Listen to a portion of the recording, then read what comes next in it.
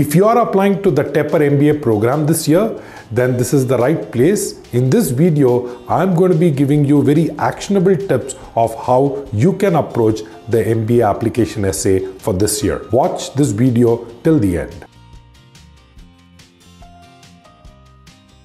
In case you have not done so already, go ahead and subscribe to the Crack Verbal channel. Uh, we will be updating you with a lot of new content on the whole MBA application process. We are going to be bringing a lot of essay analysis. Also, make sure that you hit the bell icon so that ways you get updates whenever we uh, post any new video. Well, where do we start with the Tepper MBA program? I've got good news and bad news for you. So, the good news is that the Tepper MBA program, because of uh, the Carnegie Mellon University, CMU, which is one of the oldest and, uh, you know, especially for technology professionals, one of the most reputed universities in the US, carries a lot of brand credential back in India. If you are a Tepper or a CMU alum, the brand holds a lot of value in India. So that's the good news. What's the bad news? Well, the bad news is because the brand is so strong in India, you end up getting a lot of people applying to this program, especially technology professionals. So if you are an IT guy with about five years experience with the 730 GMAT, well, let me tell you, most of the other applicants this year are going to look very similar. So it's very important that you are able to differentiate your profile in the application. Coming to the application essay itself, this year, as with uh, the previous years, Tepper has stuck to a one essay uh, format. So there is just one essay uh, which you have about 350 to 500 words. So the essay says at Carnegie Mellon University's Tepper School, we value our community and it is important for each person to contribute to its success. What difference will you make as a member of the MBA class at the Tepper School? Now, if you really think about it, there are two aspects that, these, uh, that this question is asking you. The first aspect is the aspect around community, right? So they are very clear that we value students, we value them as contributing members of this community. So that's the first piece of information, right? How are you going to, uh, you know, be as a community member? One thing that you need to understand is that a lot of these B schools, especially the ones in the US, most of the uh, you know college activities are student run, right? Now these are predominantly uh, clubs. Uh, these could be uh, you know consulting projects, but they are expecting the students to actually take the onus of driving all of it. Correct? So that's the first thing. So you need to really think what do you have to offer correct, to this community. And the second part obviously is the fact that you want to showcase uh, what value or what uh, you know background that you have that will be useful. So just to kind of put it, so how will you contribute? So that's one part which cannot be answered without telling what you have, correct?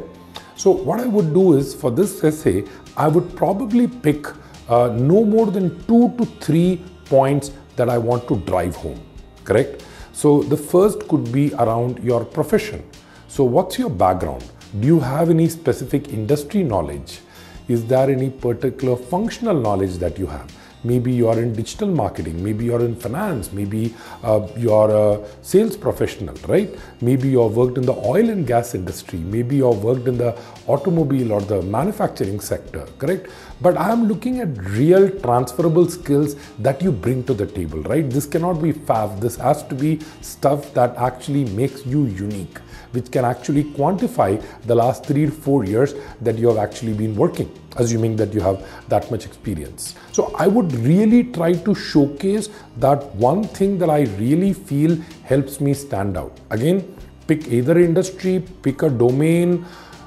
If you have worked in a geography that is not usual, then you can even say that I've worked in a particular geography and I have very deep understanding of that geography correct? Uh, please don't say that I've worked in India and I have a deep understanding of India because that uh, would again not help you differentiate your profile, right? So that's one area that you can actually pick in order to showcase uh, what you do. The second thing uh, that you can pick is something that is slightly more personal. Uh, it may be a hobby that you want to pursue. Uh, it is something that you've been doing. Maybe you're a digital photographer. Uh, maybe uh, you know you like hiking. Uh, maybe you like doing a bunch of things, right? So try to see what other things that you can bring to the table. What is it that you can offer? So that is the second area that I could possibly try to explore. Is there anything else that I have to offer? And the third thing you could possibly look at is try to see if you can tie something with your post MBA goal. Maybe you're not from consulting, but you would like to be part of the consulting club, right? Or your future, uh, you know, kind of direction is in the EMEA market, the European and Middle East market. So maybe you want to do something around that, correct? So also try to see if there is something in your future goals that you can tie it with, correct? Now, I've just given you an example of three things. This could actually be two as well. Now you need to be very specific in telling the AdCom what will you contribute.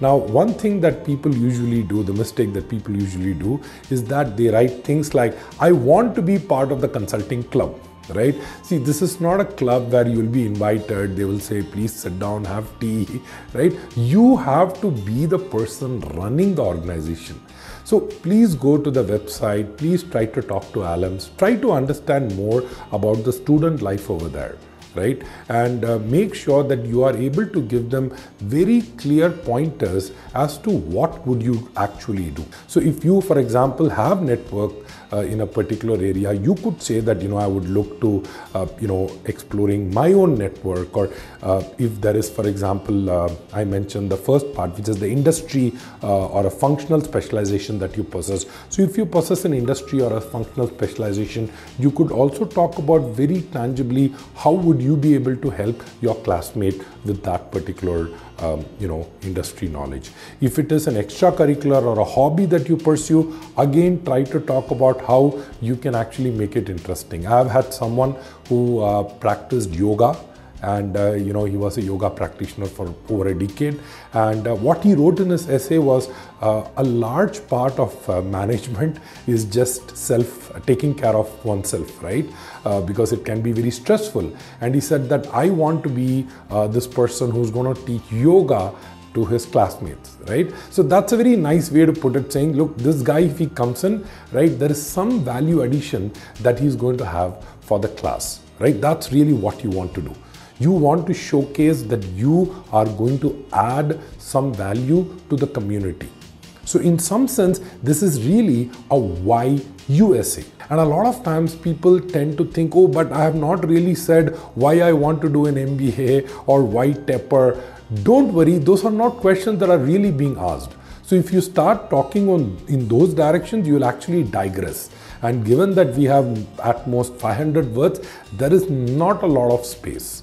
In fact, my suggestion would be if you have three things that you can contribute, maybe you should even look at you know crunching it into two and giving it adequate weightage so you have like a good 200 words uh, for each one. So you have a nice 400 word and then you have 100 words for the start and the end. So that's what i have about the tepper mba program in case you found this video to be useful please go ahead and uh, like this video uh, and uh, also drop in your comments. Are you applying to Tepper this year? What are your questions? I would love to help you answer those questions. So please go ahead and let me know in the comments below.